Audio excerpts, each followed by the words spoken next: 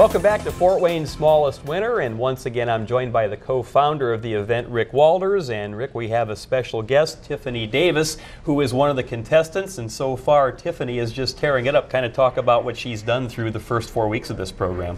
Well, um, she's doing exceedingly well. She, after week two, she was in second place. Am I correct? Yes. And now, last week we had some great numbers posted, and I guess she's in fourth place now but uh, she's doing very, very well and, and put, paying, paying her dues and putting her time in, and, and it's, it's showing. And it's early in the process. We're only a month in, Tiffany. I, I, guess my first question is I haven't had the chance to talk to a lot of the contestants a bunch, but the first goal, I think, is at least to say, I want to do this. I mm-hmm. need to mm-hmm. lose weight. I want to lose weight. What motivated you to say, I want to be a Fort Wayne smallest winner contestant here in 2011? Well, at first you decide that you want to do it, and then you realize that I can't do it on my own. And so knowing that I have to reach out, and this was the appropriate place to reach out to and ask for the appropriate help and 25 people in there Rick. Let's see now. We've got the Lean Mean Green team. we've got Paprika. We've got Camel. I've been working out a lot with Camel. And then we have Blue and we have Pink.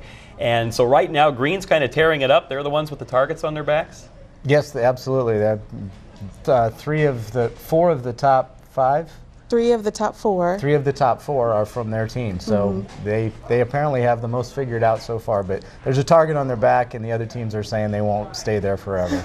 How's the camaraderie been, Tiffany? Not only with the green team, but as far as all the participants, because that's one of the things that I have picked up through the first four weeks there's a lot of motivation, and everybody there has a positive attitude. And oh, by the way, these workouts are not a joyride. We are at it, I mean, without a minute's hesitation for 60 minutes, Tuesday, Wednesday, Thursday everybody just seems to have a smile on their face all the time and a great attitude. I think that has to be half the battle. Sure, and it's, it's difficult, you know, first coming to the realization that you need to lose weight, and then to now have 25 other people fighting the same battle with you and doing the same workouts and having the same um, eating struggles. So it's it's always important that we encourage each other and support each other in our in our personal battles as well as our team battles. And one of the things I've learned, Rick, is boy, this training is tough. We do it every Tuesday, Wednesday, Thursday, 6 to 7 a.m. at Spiece.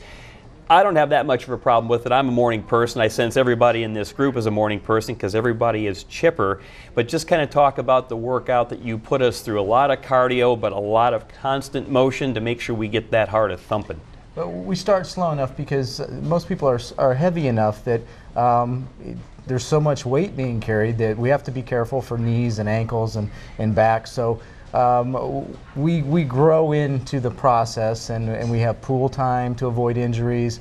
But um, well, this morning, I mean, they're so dedicated. I was impressed this morning. I got there at 5:30, and three-fourths of the people were there already, starting to exercise. So I think season four is more motivated than any of the previous seasons, and uh, it's very inspiring. I think it is, and you talked about that, and I thought, wow, because that means commitment, which I think is the key.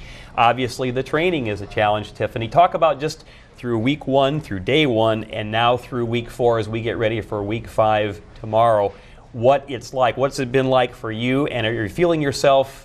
Getting stronger and getting leaner through these programs that old Captain Bligh's putting us through here? well, you absolutely feel yourself changing um, externally and mentally. I mean, physically, you, you feel that, okay, at first I couldn't do five minutes on the elliptical, and now I can do 10. And now I'm going to push myself to do 15. And you're willing to do that. And I think that's the biggest thing also because you now have the mental willpower to do so. Where maybe in that first week, you weren't really mentally strong enough to even realize that you could even do something like that. And Rick, I thought it was interesting because early in the process, one of your contestants from last year, who was proud to report to date he's lost 100 pounds, he said to everybody in this year's class, if you follow this program to the letter, it will work. Now, obviously, the physical training is part of this. Another big part has to be the diet, has to be the nutrition, has to be what you're putting in the hole under your nose, and that must really be integral to this whole process. Absolutely. In, in all honesty, that's the hardest part because that's done away from the group on your own.